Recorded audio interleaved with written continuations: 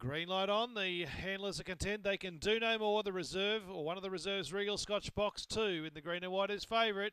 Away, Regal Scotch away, joint leader with Sprightly Arabian. The favourites, the big guns, 1 2. Up to third, there goes Destiny Crystal from Brendan Nath.